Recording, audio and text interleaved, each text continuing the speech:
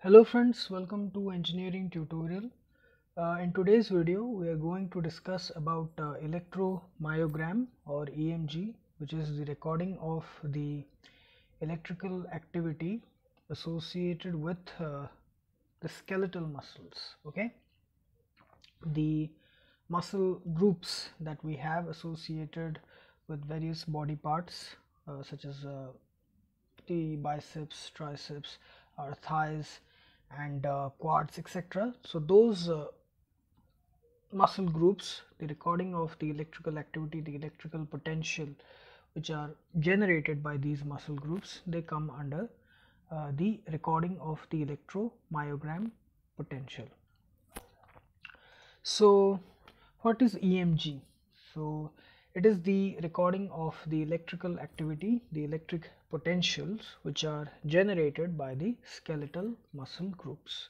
Okay, the biceps, the triceps, the thighs, the hips, the quads, uh, the shoulders, etc. The common muscle cells which we associate with that, these are these uh, muscle groups they come under the electromyogram recording. Now the contraction and expansion of these skeletal muscles okay? Whenever we uh, perform any uh, physical activity such as uh, exercising uh, lifting an object moving walking uh, there is a contraction and expansion of the skeletal muscles because it involves movement of legs movement of hands movement of shoulders.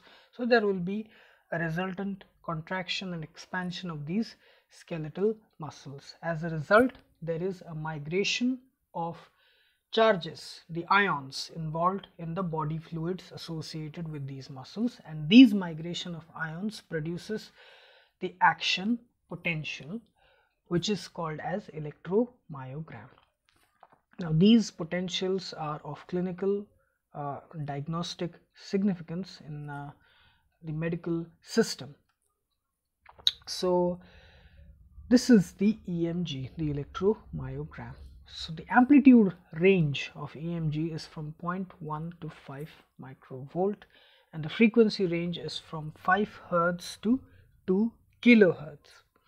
Okay, so this is the amplitude range from 0.1 to 5 microvolt and the frequency range is from 5 hertz to 2 kilohertz. So one thing which is common in ECG, EEG and EMG is the amplitude all the uh, the potentials they are of the order of microvolts. So the value is very less. So that's why it requires proper signal conditioning processing and amplification noise removal uh, filtering uh, all those things are required so that they can be uh, displayed in a proper way so that they can be easily comprehended by the medical professionals for analysis purposes. So that's where biomedical signal conditioning and processing comes into play. So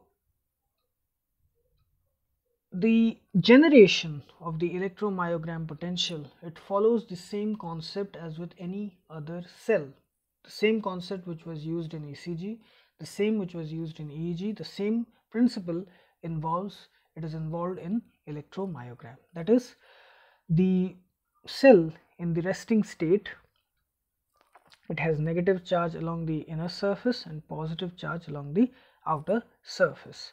Okay? It means uh, the skeletal muscle which uh, when it is in the resting state it has negative charge along the inner surface and positive charge along the outer surface. The negative and positive charge here I am referring to are the sodium and potassium ions Na plus and K plus which are the cations and chloride ions which are the anions, the negative ions. So there is a distribution of charge on both sides of the cell which behaves as a semi-permeable membrane. As a result, the potential which is developed in between them is called as the resting potential. This is the cell in the resting state.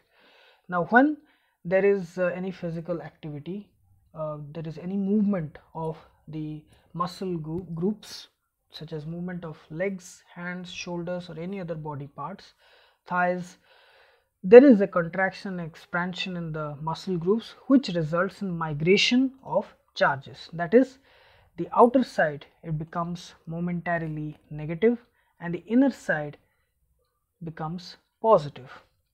So, this migration of ions through the semi-permeable membrane, the cell boundary, this redistribution of charges produces an electric potentiality in them which is called as the action potential and the process is called as depolarization.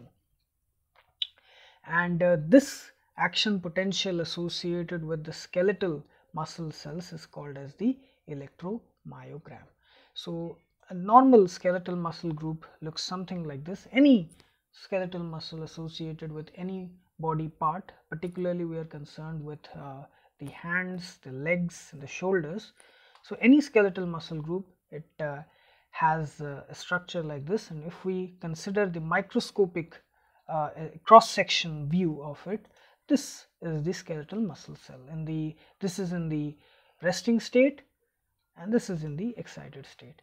So, as a result it produces an action potential which is called as the electromyogram potential. So, it follows a particular waveform that is uh, from the resting state which is normally about minus 90 millivolt for all the cells in general which is the normal value. In the resting state upon excitation it produces the action potential, it rises up and then after a certain period of time which is the refractory period it again drops back to its normal state. I have repeated the same thing in uh, case of uh, ECG and EEG. This is the normal principle of, of, uh, of uh, how the action potential is generated which is the same in case of heart cells that is ECG, in case of neurons in EEG and the skeletal muscle cells in case of EMG. So, after a certain period of time when the stimulus is uh, taken back, it is being removed. In a normal state, the cell again returns back to the normal uh, normal behavior and attains the resting potential and this process is called as repolarization. So, a EMG waveform, the electromyogram waveform looks something like this. Okay. So, it gradually the value, the amplitude in both the positive and negative direction it increases and then it again gradually decreases. So, this is the EMG waveform. Okay. So, here we have discussed about some of the basic concepts related to the electric potential which is generated by the skeletal muscle groups. Okay. So, the first thing uh, that we discussed was uh, the resting behavior of the skeletal muscles that is uh, the resting potential associated with skeletal muscles where there is negative charge along the inner, positive charge along the outer. Then in the excited state because of any physical activity which results to uh, contraction and expansion of the muscle groups which results in the generation of the action potential which is the required electromyogram potential and then the again the cell returning back to the resting state the normal state and attaining the resting potential. So I hope you like this video and please subscribe my channel engineering tutorial for more such videos related to electrical electronics instrumentation and communication engineering. Have a great day. Thank you very much.